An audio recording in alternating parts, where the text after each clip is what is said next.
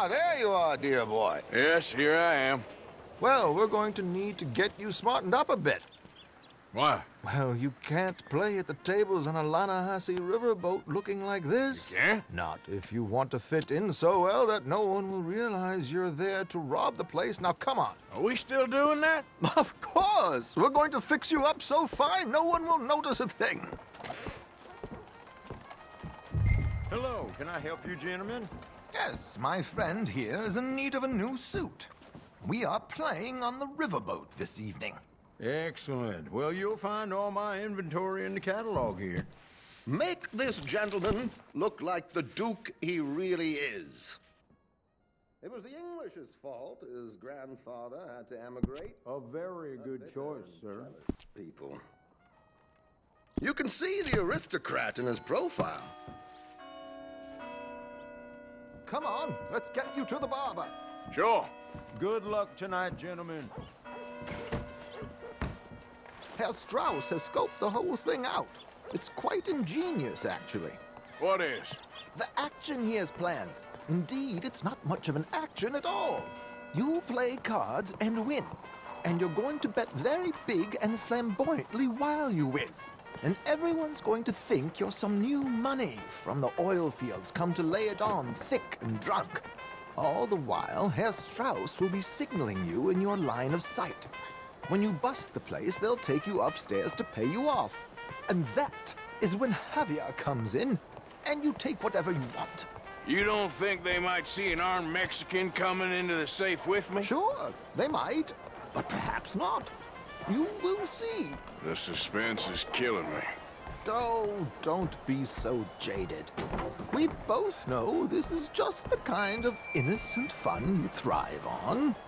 Well, after the past couple of months, armed robbery don't seem such an innocent pastime. No, but we, you, all of us, will be done here soon.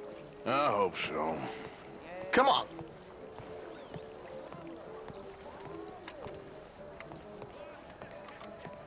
My good man, could you smarten up my dear hick friend here? This unlikely fellow has made himself a fortune in the oil fields and learned himself not a lick of manners or gentlemanly deportment. Well, very good, sir. No, it's not good. Not good at all. Not if they're going to let him play big at the tables tonight.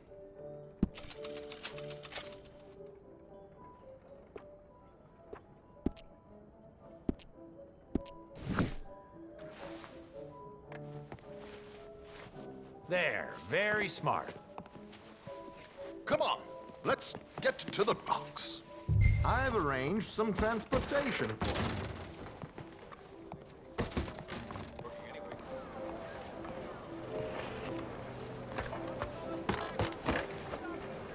Sell a wagon like that, you George, can buy a to the house. Grand Korrigan, please. Grand Korrigan, sir. Well, look at you. From Toad to Prince. Yeah, this is a bit much, ain't it? The coach? We can't whinny up there on horses like a bunch of countrified yokels. You're a brash oil man. Money to burn. Which reminds me, no shuffling and mumbling. Puff your chest out. Get outside yourself. Yeah, all right, all right. Ain't Hamlet. So, who's a mark? Is he all right, by the way, the driver? Oh, yes, don't worry. George and I go way back. It's a man called Desmond Blythe. Made a fortune in hosiery of all things. Likes to play fast and always keep some extra collateral in the safe upstairs. So, if Strauss is sitting behind him, how does he know what cards I got? He won't. But the dealer has recently become a very good friend of mine. Another one. Don't worry, Arthur. We're all the authors of our own good fortune. He'll make sure you get the right cards. What could possibly go wrong? Indeed. And what money am I playing with? Don't worry, that has all been arranged. Your chips will be waiting. Ah, Oh, there she is. Come on. Okay. Arthur, leave any weaponry here. We'll search us when we get on. George, we'll collect these from you later. Very good, sir. Thank you, George. Good luck, sir. Now remember what I said, Arthur. Everyone is the author of his own good fortune. Yes, yes, believe me, I heard every word. Watch Strauss, listen to the dealer, and this should be a very lucky night. There they are. Gentlemen, how wonderful to see you. Arthur, you remember this pair of boys we met in New York? Come on, gentlemen. Champagne is on dear old Arthur. He's rich as can be and feeling luckier than a turkey that survived Thanksgiving. Hello, gentlemen. Hello, dear boy. Come on, come on, let's head aboard. Drinks on Arthur. Champagne.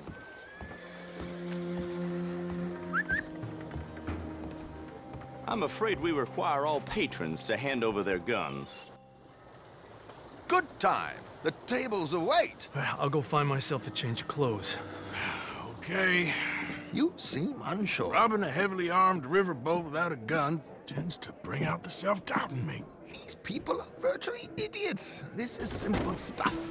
Now have a good time, but don't lose too much money or your wife is going to kill me. Whatever you say. Now where can I get a cocktail?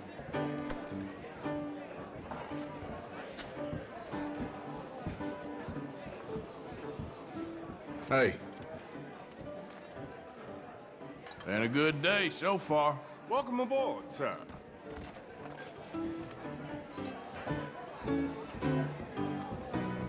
Are you joining us? Good evening, gentlemen.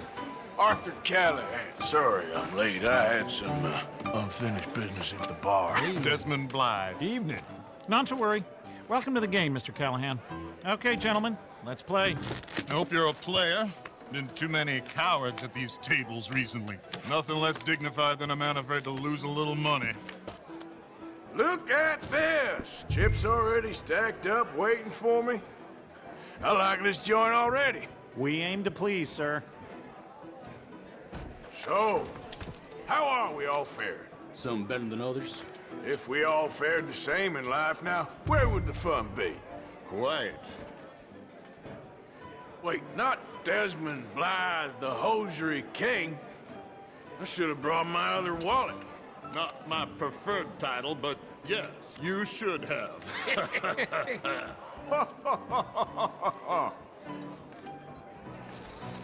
We'll see about that. To hell with it. Here we go, then. Well, hello, my ladies.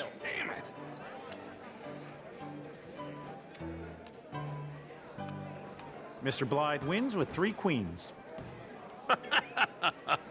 Goodbye, gentlemen. I guess it's just you and me now, friend. Yes, it is. Time to see if you're really the man you seem to think you are. Likewise, Mr. Blythe. So, what business are you in, Mr. Callahan? I'm an oil man, for my sins. Funny, I haven't heard of you. Oh, you will. You know, I thought about getting into hosiery, but I just look better in a suit. I would stick to oil, Mr. Callahan. I don't think you have a future on the stage. You sound just like my wife.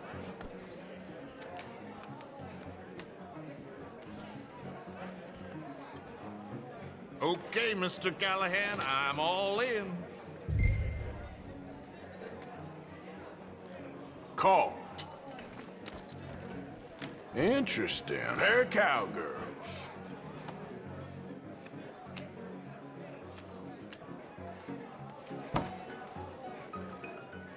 Shit! Shit! I guess my luck held. Is that you done? Done? Bust. Or, uh, you got something else to play with? Meaning. Well, I heard. Well, I heard there was some big boys on this boat.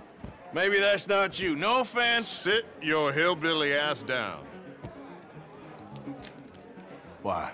I got a watch. Look at you. An expensive one. Real fine. Swiss. A Reutlinger, no less. It's in the safe upstairs. It's worth more than you. Okay. I trust you. Now play. As you wish. So, you must know Leviticus Cornwall, big oil man like you. Of course, we've crossed paths. I was fortunate enough to tour a little operation of his up in New Hanover.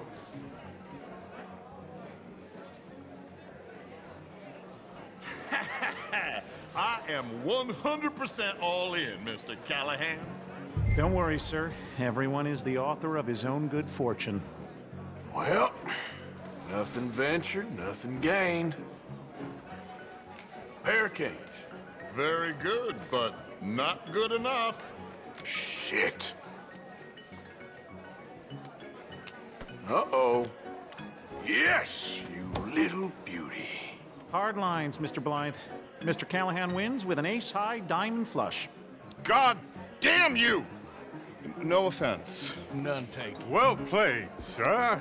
Unlucky, Desmond. Now, forgive my lack of discretion, but um, where might I find this watch? It's upstairs. Shall we go and have a look? Why not? Gentlemen. Please, cash these out for me. I, I started last week. Good. Sure. Uh, Perhaps you could escort us up to the office. Yes, of course, sir. Thank you. Follow me, gentlemen. Come with me, sir. You're having quite the night. Yeah, so far. I cannot believe someone gave a greaser a job. we live in strange times. Personally, I wouldn't trust one with a gun, but fear not. I've got my own little lawgiver right here. Very good. Next, we'll be hiring Negroes. I know, I know. I think you're going to like this watch, sir. I saw it earlier, and it really is a handsome piece. Foreign made, but you can't have everything. Indeed. Well, here we are.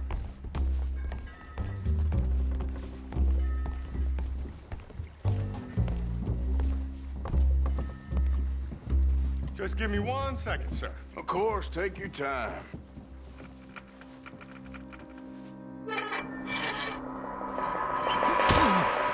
Don't reach for that gun. Take his gun, Arthur. I guess you were right. Only an idiot would give a greaser a gun.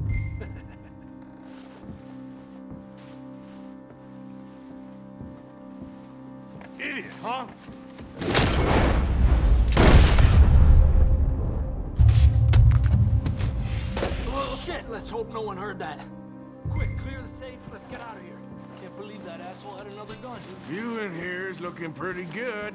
How much is there? Must be a few thousand plus the watch. Nice. Now let's get out of here. Come on. Let's go meet the others. Sure.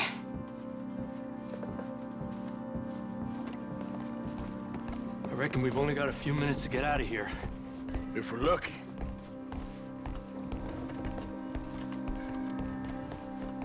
Was that a gunshot? It sounded like one. Come on.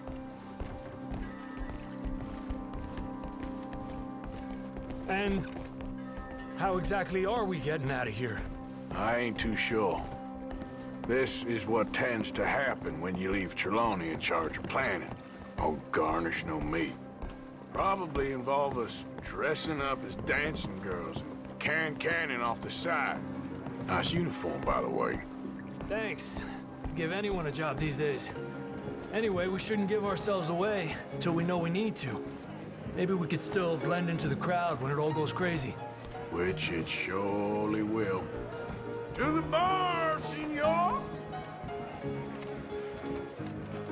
I hope you had fun, sir. At the time of my life. You boys sure know how to put on a show. That's wonderful. Ah, look, there's your friend.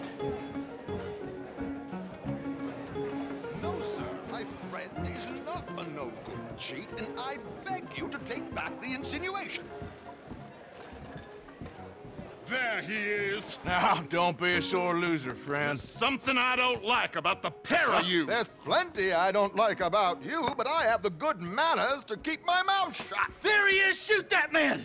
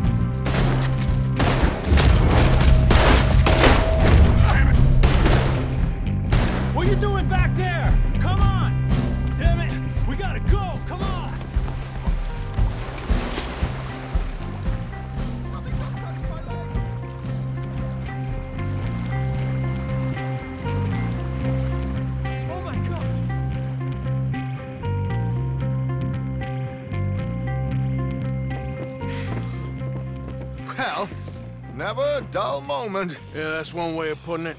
So, how much did we get? A few thousand, I think. Pretty good. Yes, indeed. And this watch, uh, apparently it's worth a bunch. Uh, Swiss, uh, a Reutlinger or something? Nice watch. Yes, it's a Reutlinger, all right. We'll give it back then. All right, come on, let's get out of here.